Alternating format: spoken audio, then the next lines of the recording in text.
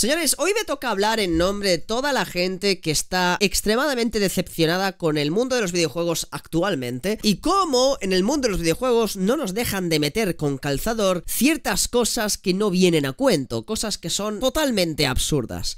Mira, podría limitarme en este vídeo a criticar Dragon Age The Veilguard y solo decir que, oh, este juego es woke, este juego es una propaganda constante de ciertas ideologías. Podría estar todo el rato solo hablando de ese problema con Dragon Age The Veilguard. Pero es que Dragon Age The Veilguard no tiene ese problema únicamente. El problema de que hayan ciertos personajes con ciertas características que ahora en este vídeo hablaremos de ello. Sino que tiene un problema general de guion tiene un problema general de historia, diálogos pobres, diálogos bastante mediocres y un juego que se supone que debería ser para mayores de edad parece, literalmente, parece una sesión de terapia psicológica para niños de 12 años. Es increíble. Y lo que es muy triste es que, sí, yo no tengo el videojuego, yo no he tenido acceso al videojuego anticipadamente, ni nada por el estilo, y pues a lo mejor lo acabaré jugando.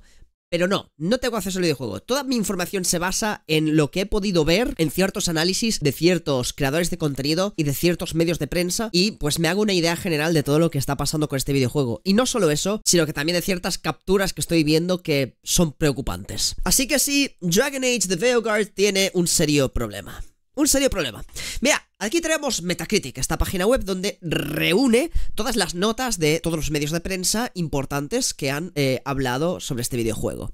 Tenemos 51 reviews, 51 críticas y una media de notas de 84 sobre 100. Tú esto lo ves, un 84 sobre 100, lo ves y dices, no está nada mal. Es decir, 84 sobre 100 está bien, está bien, está bastante bien, es un buen juego. O sea que ¿De qué nos deberíamos preocupar? Nos deberíamos preocupar por el primer problema importante. Y eso es que parece ser que se ha censurado a bastantes medios y a bastantes creadores de contenido por su forma de pensar y por cómo han criticado otros videojuegos en el pasado como por ejemplo Star Wars Outlaws, Concord, etcétera, etcétera. Juegos que tienen claramente cierto mensaje, cierta propaganda entonces, parece ser que a Dragon Age de Veilguard no les hace gracia estos creadores de contenido y estos medios de prensa, y entonces no quisieron mandarles reviews a esta gente. Entonces, ya eh, muy mal en realidad, porque imagínate que Dragon Age de Veilguard acaba siendo un buen juego, eh, y a la gente le gusta. ¿Sabes lo que pasa? Que el centro de la conversación, al menos durante el lanzamiento, va a ser como eh, los señores de Bioware han estado censurando opiniones de diferentes creadores de contenido y de diferentes medios. Y esto es terrible. Creo que a la hora de mandar códigos de review, creo que habría que mandarlas a todo el mundo que esté capacitado para hacer reviews, todo el mundo que tenga un mínimo de reputación, pero creo que es importante que todo tipo de jugadores jueguen a un videojuego en particular para que la opinión de la prensa sea lo más objetiva posible. Y veo cosas sospechosas aquí en Metacritic, como por ejemplo Eurogamer.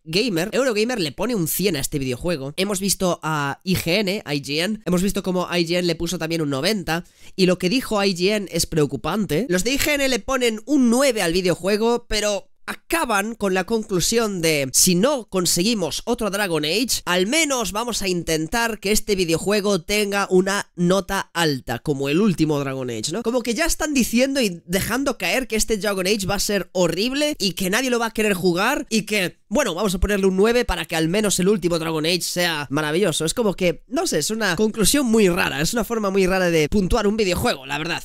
Obviamente la review trata de otras cosas, pero ver la conclusión y que acabe con eso es muy raro. Pero Quiero hablar sobre realmente el problema de este videojuego. El problema de este videojuego es los diálogos. Los diálogos y el guion bastante lamentable que tiene. Os voy a enseñar unas capturas bastante ridículas, pero ridículas nivel máximo. Y repito, una vez más, eh, y más cuando se trata de un juego de fantasía. Si estuviéramos hablando de un juego de simulación de la vida real, de nuestra cultura actual y todo esto, te lo puedo comprar. Pero es que este es un videojuego de fantasía medieval. Repito, fantasía medieval.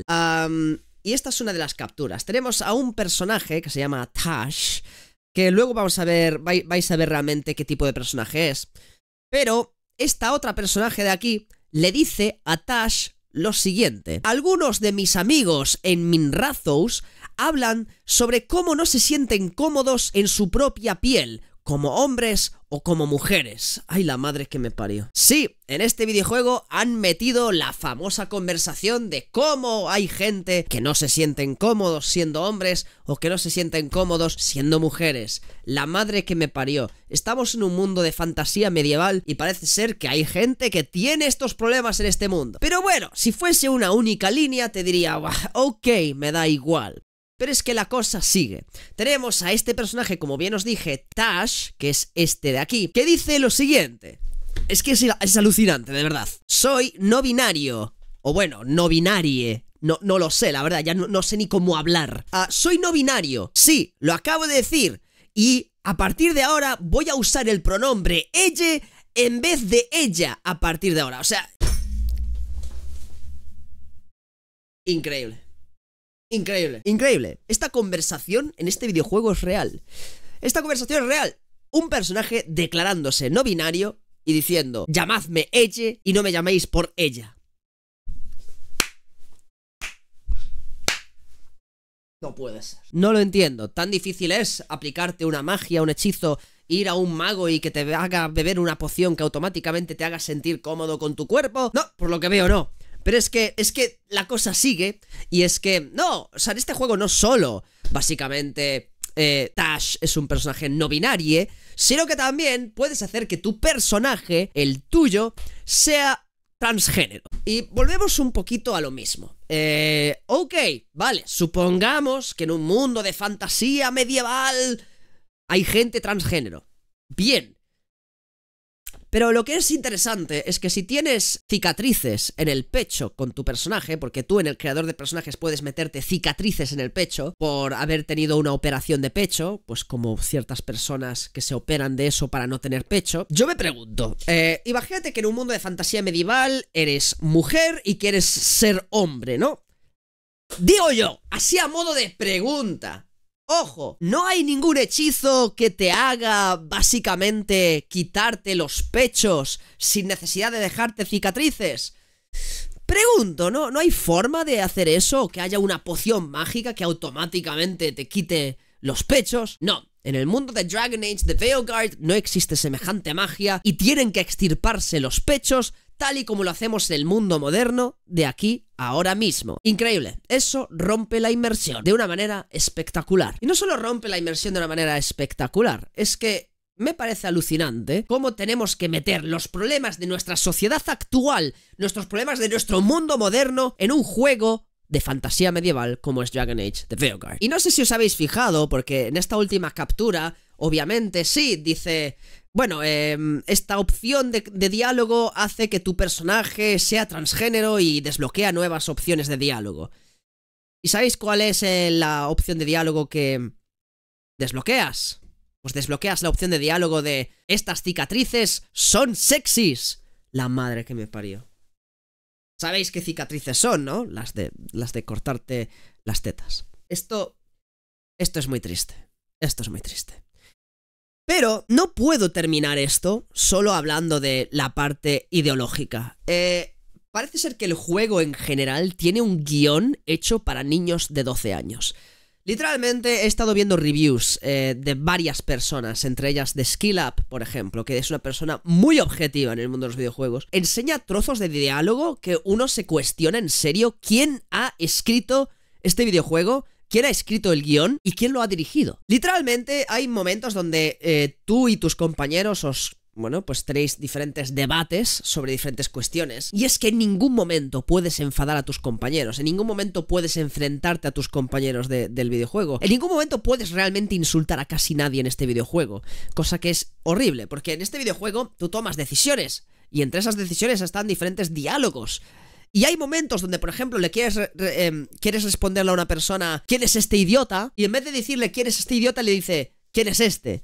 Y es curioso porque en la opción para seleccionar pone quién es este idiota, pero luego, a la hora de la verdad, a la hora de hacer el diálogo, tu personaje no dice la palabra idiota, es que tal cual la omite. Dice quién es este, en vez de quién es este idiota.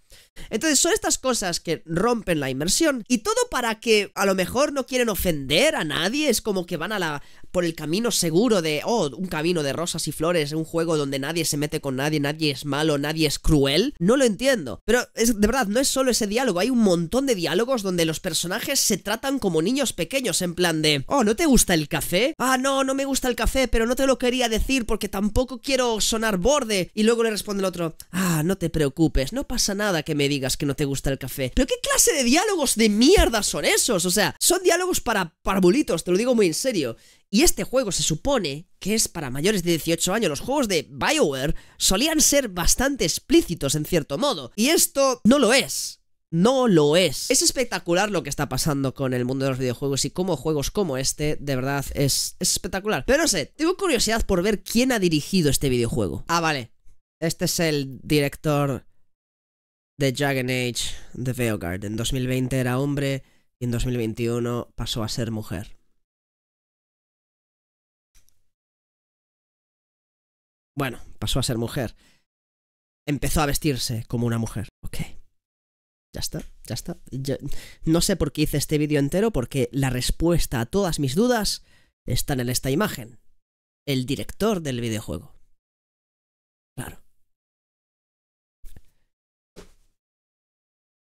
It is what it is. It is what it is. En fin, chicos, eh, alucinante. Si queréis saber sobre la última polémica que hubo parecida a esta con respecto a Call of Duty, pues aquí lo tenéis. Aquí, Call of Duty Black Ops 6 y una polémica que hubo bastante curiosa con un personaje que también se denomina como Elle. Terrible. Aquí tenéis este vídeo, dadle ahí fuerte. Like, suscribiros, dadle a la campanita y recuerden que la vida es hermosa. Nos vemos en el siguiente vídeo. Chaito chicos, chaito, chaito.